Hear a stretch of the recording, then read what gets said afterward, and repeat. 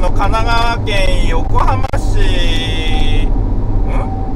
ちょっとごめんなさい、忘れましたね。今、生麦付近なんですけど、えー、横浜環状北線走ってます。で、今、ちょうどトンネル内なんですけど、救急車が、えー、近づいてきましたね。で、左側、左側走ってきたっすね。うーん、こういう場合どうしよう。右に避けた方がいいのかな？避けてくれるかな？お、これは困ったな。これどう、どうすりゃいいんだろう？み、多分ここ出口出るんかな？ちょっと今ハザードでちょっとあんまり右に避けるってことを基本的にしないんですけど多分この先でもしかしたら馬場出口に出たいからあのー、この救急車って右から追い越ししないで抜いてったのかもしんないでちょっとこの右からの追い越しの仕方が果たして正しかったかわからないんですがちょっと右に避けましたで今んとここの救急車ずっと左側走ってますね馬場出口出るのかな？あ、やっぱそうですね。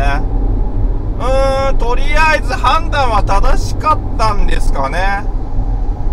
あのー、多分なんですけど、自分の予想で、普通だったら、今左側、ここ今法定速度60キロなんですけど、普通救急車ね、緊急走行してたんで、まあ当然ながら、自分が左側走ってましたら、第1車線の左側走ってましたら、まあ第2車線の右側に車線変更して抜いていくと思うんですよ。今自分ちゃんと法定速度で走ってたんで、そしたらいつまで、その救急車がいつまで経っても、右側に抜いていかなかったんですよ。なので、まあそのままね、あの自分がその60キロ法定速度を、まあ、まあ、とろとろとろ走ってたわけじゃないんですけど、まあ、やっぱり緊急車両は急いでるってことで、なんか自分がね、その妨げになるのもあれなんで、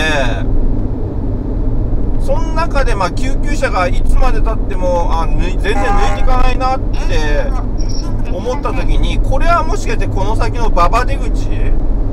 で降り降りたいんだなって今自分考えたんですよね。それでたまたま今右側に車いなかったのでちょっと右側に避けてしかもハザードであの救急車に対して先に行っていいですよっていう風に指示しました。まあちょっとこれね今右側に後方右側に車がいたら、ちょっと今、その、避け方はしなかったんですけど、ちょっとまあ、異例といえば異例の避け方かもしれないですね。普通だったらね、右側に避けるってことを日本の道路ではありえないので、ちょっと特殊なやり方なんで、ちょっと正しい避け方じゃなかったかもしれないんですけど、あの、まあ、一般道だったらまだしもね、一応、首都高速ってことで、まあ、有料道路になりますので、ちょっと正しいやり方じゃなかったかもしれないんですけど、一応まあ、馬場出口で出るだろうという予測のもと右側に避けてみました。まあ、そしたら一応予想が当たりまして、馬場出口で降りていかれましたね